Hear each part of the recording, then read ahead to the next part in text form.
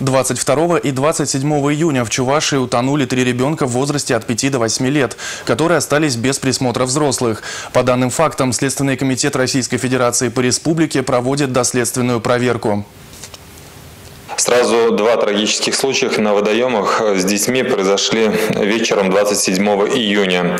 Один из них имел место в Красночитайском районе, где пятилетняя девочка утонула в искусственном водоеме размерами 8 на 8 метров и глубиной около полутора метров, который был вырыт в дальней части огорода домохозяйства, где она проживала со своими родителями.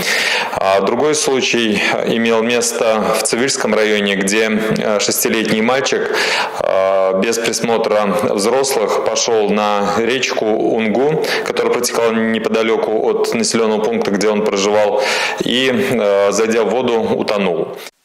В обоих случаях дети купались без присмотра взрослых, причем дети не умели плавать. А 22 июня недалеко от Новочебоксарска в реке Волга утонул восьмилетний мальчик. Он также находился там без взрослых. По всем указанным фактам следователями Следственного комитета проводятся доследственные проверки и устанавливаются все обстоятельства произошедшего.